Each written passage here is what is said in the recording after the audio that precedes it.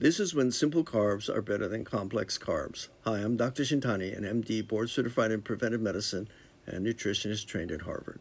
Let me clear up this misconception that the best carbs are always complex carbs and that simple carbs are always bad for you. Simple carbs are sugars such as sucrose or table sugar or fructose like fruit sugar. A complex carb is a starch as in potatoes, rice, or bread. White bread is a complex carb because it is made of wheat flour, which is mostly starch. Its glycemic index, however, is high at 100. An apple is almost all simple carbs, fructose, yet its glycemic number is low at 51. In this case, the simple carb in the form of a whole apple is better than the complex carb in the form of bread.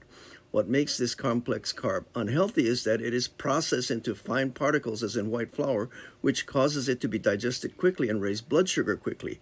By contrast, if you use stone ground or sprouted grain bread, which has larger particles, the glycemic number drops down to 60, around 60. But still, the simple carb is slightly better than the complex in this case. For more information on, on natural health, get my full length book, The Peace Diet, which you can find uh, at Amazon on eatslim.org. I'm Dr. Shintani for your health.